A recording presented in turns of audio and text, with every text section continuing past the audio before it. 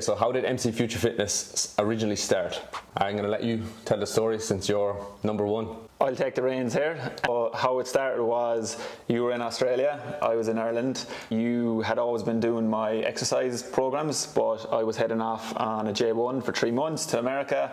And about nine weeks out, you had said to me, Hey, how about I take over your nutritional dietary routine and also, of course, with the, the exercise and that?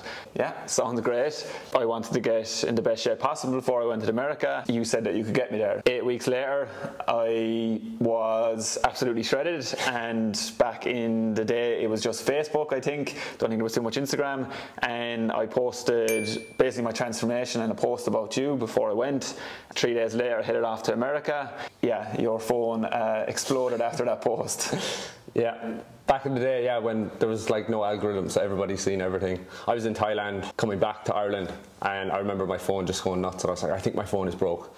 because I had weird bad Wi-Fi and all of a sudden there was just like hundreds of likes on your photo and there was just all these people messaging me about coaching. And I yeah that was June 2015 and here we are October 2023 eight years on. Still going strong